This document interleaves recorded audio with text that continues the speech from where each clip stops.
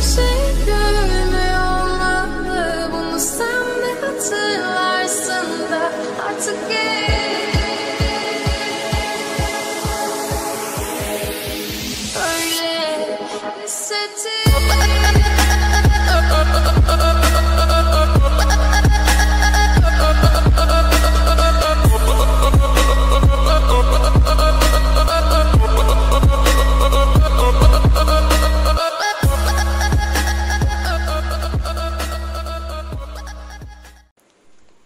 hello everyone welcome back to my channel I am Komal और आज मैं आप लोगों के साथ यही वाला मेकअप लुक शेयर करने वाली हूँ। तो सबसे अच्छी बात यहाँ ये है कि ये लुक मैंने सिर्फ़ सिक्स टू सेवन प्रोडक्ट्स ही यूज़ करके अचीव किया है। तो कैसे मैंने ये क्रिएट किया, ये मैं आज आपको इस वीडियो में बताऊँगी। इसे जानने के लिए येस आपको पूरी वीडियो देखनी होगी। So let's dive into the video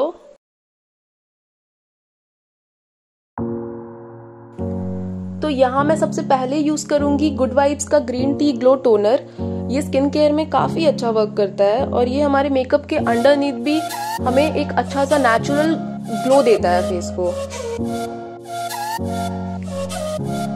next मैं यहाँ यूज़ कर रही हूँ colour essence pre makeup based primer मुझे ये बहुत ही पसंद है। इसे लगाने के बाद मेकअप बहुत ही फ्लॉलेस सा होता है और मेकअप लास्ट लॉन्ग भी करता है।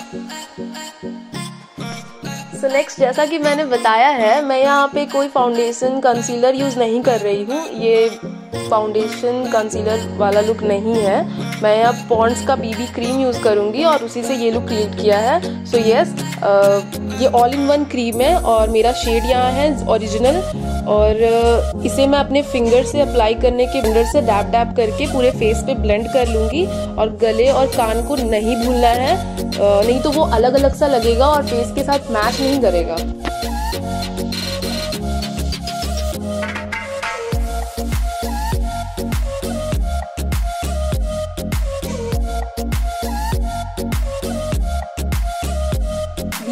बिल्डेबल होता है तो आप चाहो तो दो लेयर भी अप्लाई कर सकते हो। और यहाँ पे मैं second layer as a concealer लगा रही हूँ। और इसे मैंने अपने अंडर आई लगाया है और उसे ब्यूटी ब्लेंडर से ब्लेंड कर लूँगी।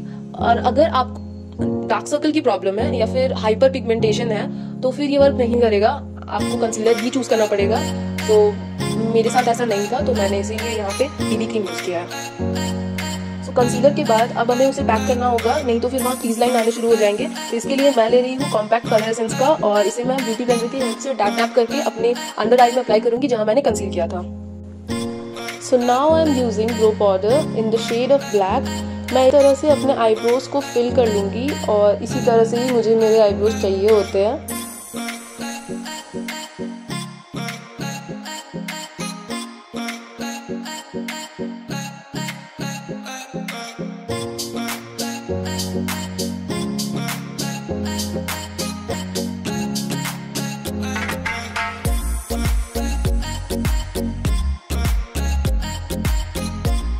बाद मैं यहाँ कलर एसेंस का कॉम्पैक्ट यूज़ कर रही हूँ। इसे मैं अपने पूरे फेस पे इवनली अप्लाई कर लूँगी और अपने मेकअप को सेट कर लूँगी।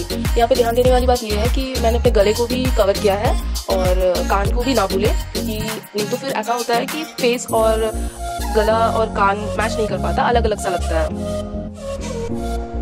सो आई मेकअप के लिए मैंने यहाँ पे ब्रो पाउडर से ब्राउन कलर ले रही हूँ और इसी से मैं आज अपना आई मेकअप करूँगी।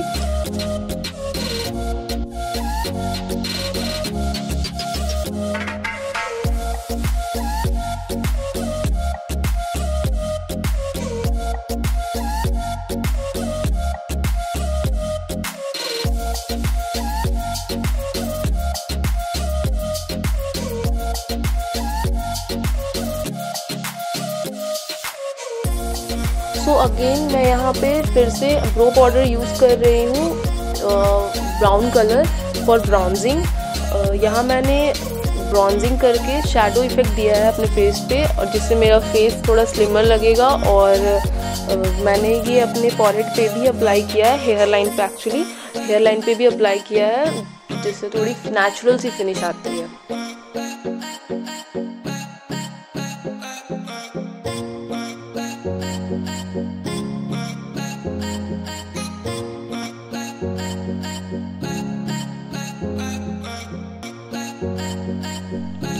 नेक्स्ट मैं यहाँ ब्लश अप्लाई कर रही हूँ। इसके लिए मैंने मेकअप स्टूडियो का आई शेडो पैलेट यूज़ किया है और मैंने जो शेड चूज़ किया है वो डार्क पिंक और इसे मैं ब्रश की हेल्प से अपने दोनों चीज़ पे अप्लाई कर लूँगी।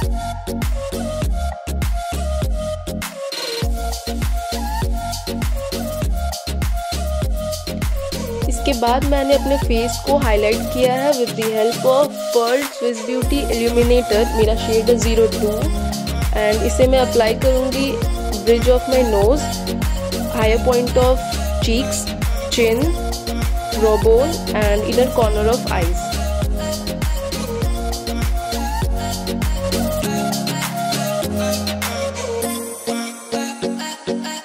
अब मैं यहाँ पे काजल अप्लाई कर रही हूँ। लैक्मी आइकॉनिक मैंने लिया है। और अब मैं इसे सबसे पहले तो वाटर लाइन पे अप्लाई करूँगी and then close to the last line and you don't need to be very precise and perfect because हम इसे एनी हाउ ब्लेंड करने वाले हैं।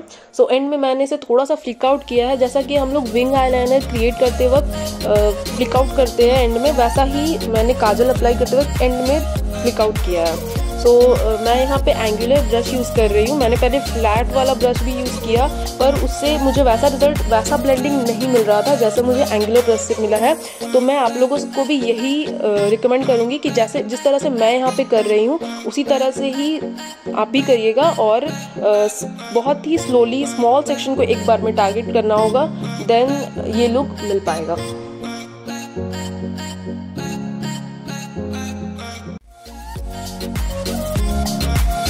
मैंने यहाँ ब्लू हेवन का सिग्नेचर वाला मस्कारा लिया है और इसे मैं अपर आई के साथ साथ नीचे वाले लोअर आई में भी अप्लाई करूँगी।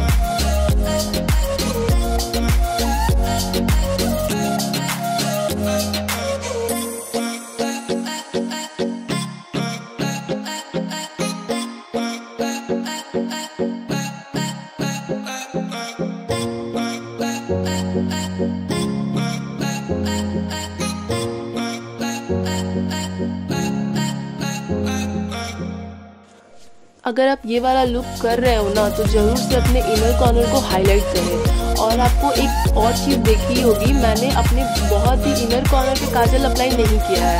ये छोटे छोटे हैक्स है जो आपको करना होगा इस मेकअप लुक को अचीव करने के लिए।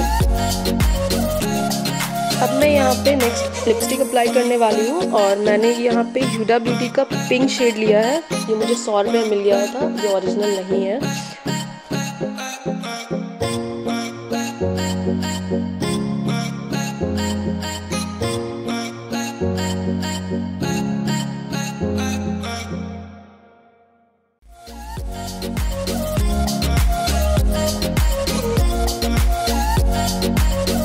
मेरा मेकअप हो चुका है कंप्लीट और अब मैं यहाँ पे ब्लू हेवन का मेकअप फिक्सर यूज़ कर रही हूँ और उससे मैं अपने मेकअप को फिक्स कर लूँगी